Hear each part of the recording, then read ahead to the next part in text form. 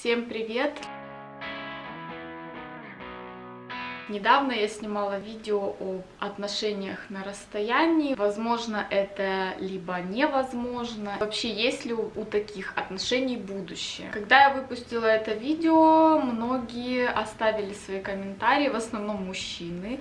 Почему-то я удивлена. И один молодой человек предложил снять видео на тему встречи со старыми друзьями, а, либо встречи выпускников. Как я вообще к этому отношусь? Я сначала не поняла этот вопрос вопрос мне было как-то непонятно, ну как я отношусь к этому. Он еще упомянул, что он бы на такую встречу никогда бы ни за что бы не пошел. И мне стало очень интересно, почему. Повторный мой вопрос звучал как раз таки именно так, почему бы он не пошел, в чем причина. На что человек ответил, что он не видит в этом смысла, и ему не интересно общаться со сверстниками, ему интересно общаться с более молодыми людьми, я так понимаю, что сверстники скучны, у каждого своя жизнь. Это, знаете, из той оперы, когда э, дружили две подружки, были не разлей вода, одна вышла замуж, родила ребенка, и второй подружке не о чем стала разговаривать с первой, потому что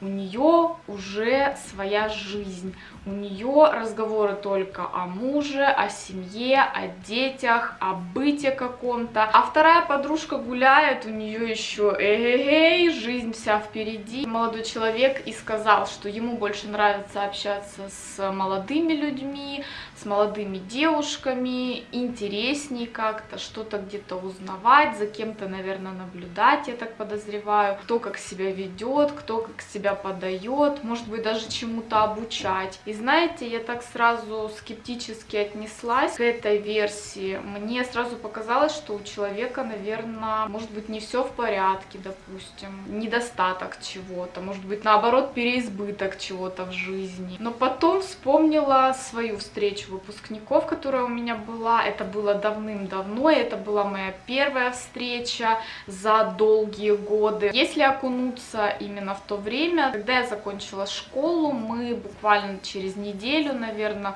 может быть даже раньше, устроили встречу выпускников. Наша классная руководитель была шоке, она не понимала, зачем, говорит, давайте через 5 лет, а лучше через 10 встретимся, это будет намного интереснее, все изменятся, кто где будет, будет интересно узнать что-то друг друге. Но мы были малые, дурные, нам только дай повод побухать, поэтому как бы никто никого не слушал. Мы встретились и, ну, как обычно, всем классом посидели, как и, как и всегда, как и на всяких посиделках. Последние два года у нас был один класс, класс, в котором мы были в принципе-то дружны. Были определенные кучки, кучка заучек, э, кучка популярных таких чуваков и подруг, и большая кучка, к которой относились люди, не примыкающие ни к одной из предыдущих двух кучек. Я как раз-таки относилась к этой кучке. У меня были две подруги, с которыми я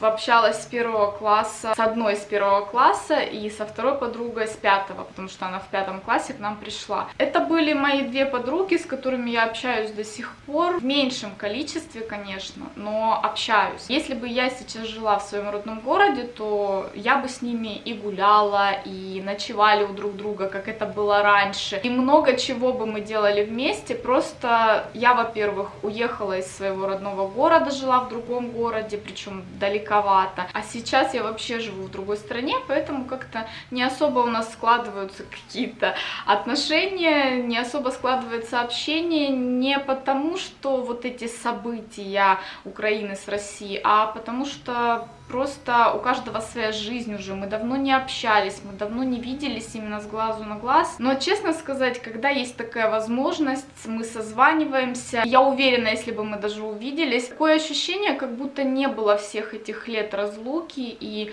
мы вот общаемся, как будто мы общаемся каждый день, просто вот мы дружим, как и в школе. И это меня очень радует, поэтому по поводу давних подруг и друзей я хочу сказать, что я не очень Согласна. Наверное, у кого какие друзья были. Если у вас были такие друзья, с которыми вы, конечно же, уже давным-давно не общаетесь, и по каким-то определенным причинам вы там поссорились, я не знаю, не поделили друга, подругу, у кого какие приключения, неважно, то, конечно, я бы тоже не встречалась с такими друзьями. У меня есть одна подруга, я, наверное, вставлю сюда фрагмент, как она мне недавно прислала сообщение. Человек не поинтересовался вообще, как я, что я, где я. Человека ничто другое не интересует, кроме детей и мужа, потому что в этом ее вся жизнь. Моя жизнь не в этом, и поэтому я этого не понимаю. И, наверное, еще долгое время не пойму. Мне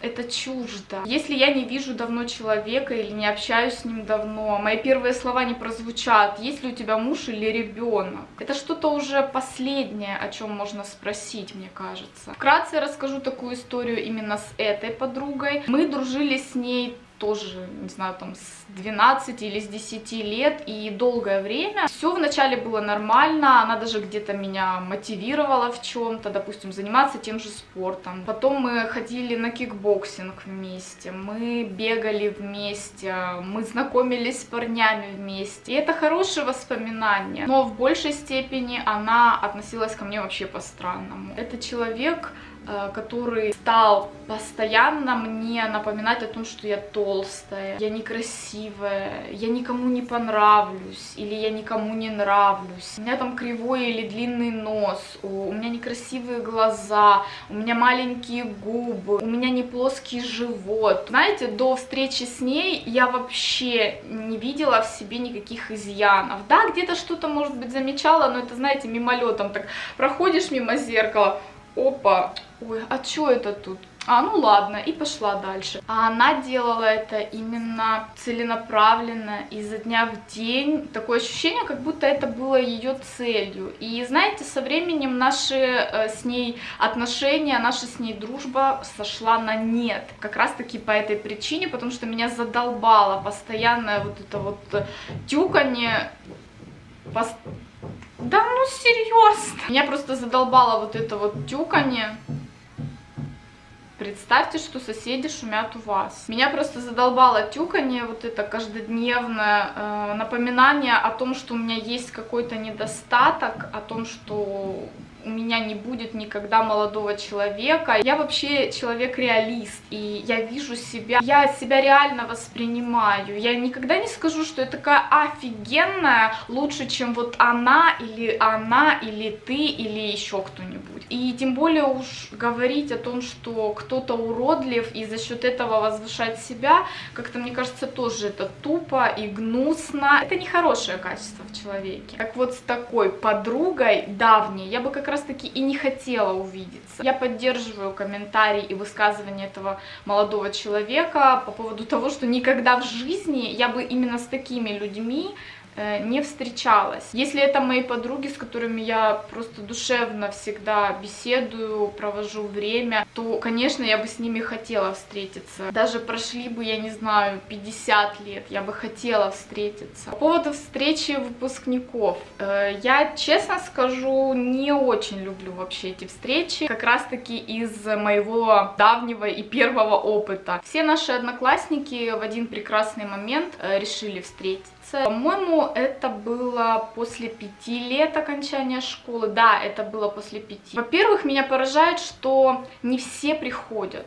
Ну, суть в том, почему я не пошла бы ни на одну больше встречу, я не ходила, меня просто не тянуло туда, потому что я знаю, кстати, меня смотрят некоторые мои одноклассники. И надеюсь, никто не будет в обиде. Не знаю, как у других, у всех в жизни проходят эти встречи выпускников, но на моей встрече выпускников все, как обычно, начиналось мирно, пока все не понапивались в сисю. В итоге потом ты замечаешь, как э, мамочки, у которых мужья сидят там, да, с детьми дома, зажимаются в туалетах с бывшими одноклассниками. Это, конечно, просто просто капец. Я честно, я на это все посмотрела, меня просто вывернула наизнанку. Из нашего класса, ну, наверное, все повыходили замуж, нарожали детей, а, остались только ну, некоторые, наверное, человек пять. И из этих пяти трое это я и две мои подруги. Все те люди, которые приходили, были женаты, замужем, дети. У меня просто в голове не укладывалось, как себя так можно вести. Я все понимаю. У кого-то там жизнь не удалась, муж не устраивает, жена там, я не знаю, пилит его постоянно. Я на это все посмотрела, знаете, сделала определенный вывод то с такими людьми я не хочу общаться. Это не тот круг общения, к которому нужно стремиться, к которому тянет с которым интересно. Потрахаться, покурить, попить — это не то, чему я хочу жизнь посвятить. Поэтому я и не ходила больше на такие встречи, мне не интересно. Вот просто не интересно. Я знаю, многие меня могут осудить и сказать, что это только у тебя был такой опыт, так же, как и с переездом в Россию. И я не считаю, что всем не нужно ходить на такие встречи. Просто вы делаете выводы. Если вы наблюдаете такую же картину, как и я в свое время наблюдала. Я лично считаю, что это общество не мое. И мое мнение, есть друзья, есть общество, где можно находиться, кому хочется идти, с кем хочется общаться.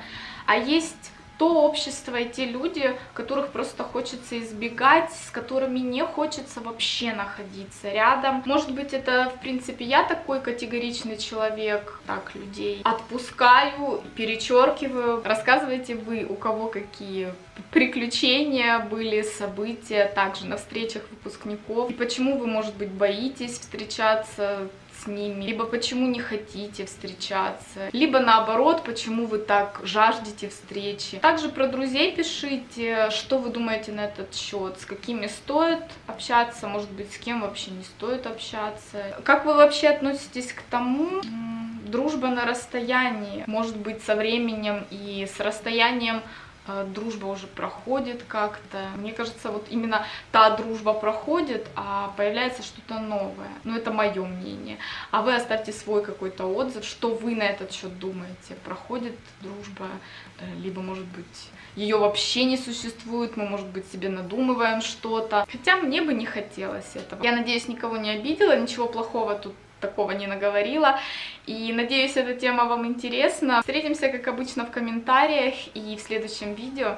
А я желаю вам удачи и хорошего настроения. Пока! Thank you.